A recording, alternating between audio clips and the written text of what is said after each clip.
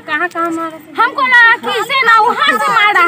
हम गए ना पकड़े तो चाकू हमारा बोले तू हट भी कि तोरो हम मारियो। तो हमको ढकेल दिया फिर जल्दी जल्दी पेट में पाँच छह मारते मारे फिर कंठ में दो बार मारा। फिर यहाँ पे ई करने यहाँ पे यहाँ पे फिर दोनों पीछे पीछे के पीछे नमस्कार दोस्तों यूँ तो दरभंगा में हालात पहले से ही खराब है। जिस तरह की खबर पिछले कई दिनों से दरभंगा में हो रही थी आम जनता के बीच खलबली मची थी।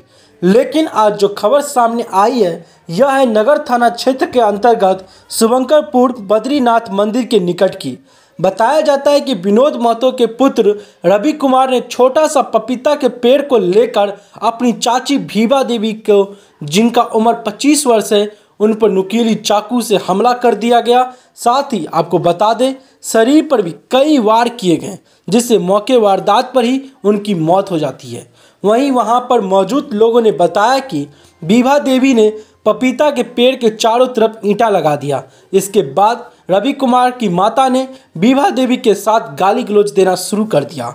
रवि के माता का कहना था कि यह ईंट मेरा है, लेकिन वहाँ मौजूद लोगों ने बताया कि यह घर के बगल में नाला बन रहा, जिससे पेड़ को नुकसान न हो जाए तो वहाँ ईंटा से चारों तरफ़ घेर दिया गया। जो कि ईटा नाला बनाने वाले कार्य से लिया गया था, जिसको लेकर दोनों में बहस और गाली गलोच चलता रहा। लोगों ने बताया कि यह बहस गाली गलोच शनिवार की शाम से ही शुरू हो गया था और यह सिलसिला रविवार को भी चलता रहा। लेकिन जब चाची के द्वारा रवि कुमार के पिता को गाली दी गई, जिसके बाद रवि कुमार ने चाकू से अपनी चाची पर कई वार कर दिया जिससे मौके वारदात पर ही उसकी मृत्यु हो गई। जिसके बाद रवि कुमार ने वहाँ से भाग गया। रवि के पिता झारखंड में ड्राइविंग का काम करते हैं। वहीं आपको बता दें बीभा देवी के दो छोटे छोटे बच्चे हैं, जिनकी उम्र पाँच साल और सात साल है। और इसी के साथ आपको बता दें, विवाह देवी के पति भी बाहर रहकर ही कार्य करते हैं। इस तरह की घटना समाज में घटता है तो कितना दुख की बात है। क्योंकि एक समाज, जिसमें एक पूरा परिवार, कई परिवार रहते हैं, और एक पारिवारिक मामले को लेकर, इस तरह से सड़कों पर उतर के चाकूबाजी करना कितने दुख की बात है। तो आगे सुनिए लोग जो वहाँ पर लोग मौजूद थे जो अपना आँखों देखा हाल आपको सुनाएँगे। देखिए वीडियो में आगे। तो ई चार महीने के बाद रोड पे सिला के रखी। तो बड़की मम्मी कल उठा के ले गई खूबे गाड़ी आई। तो फिर छोटकी चाची कुछ नहीं बोली। फिर आज सुबह में यहाँ पे से चार हुए वाले के रख दी।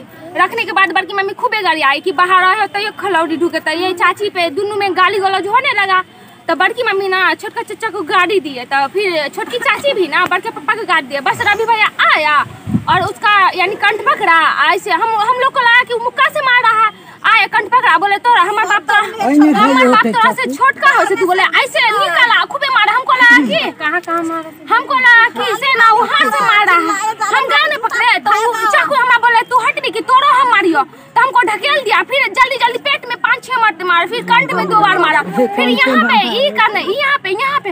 फिर दोनों पीछे पीछे के पीछे। फिर बजरा में भी मारा और सीधा ढकेल दिया ढकेल दिया। कपार कपार भी फूट गया ऊपर से फेंक के चाकू नदी फेंक के भाग गया। घर के आदमी और उसका घर के आदमी उसकी, उसकी, उसकी बहू उसकी बहन उसकी मम्मी सब थी। जब फेंक दिया हम पकड़े ना चाची को कि चाची बस ऐसे की आँख मर गई। और उसका हम जब पकड़े तब उसकी मम्मी और उसकी उसकी कन्या आई और बस उतना ही हुआ। उसका बाद भाग गया। और उसका चाची डेट घट गया। उसका छोटकी चाची सब गई बाहर पे हल्ला करने जब माना भैया सब थे सब हल्ला किया तू चाकू फेंक के और उसी ऊपर से नीचे फेंक दिया। यानी वो जो है ना सीढ़ी पे से फेंक के और ढुलका गया वो चाकू फेंक के भाग गया। क्या नाम था जो मारा चाकू? रवि कुमार। और उसका पिता का नाम? विनोद महतो। कौन सी जगह है ये?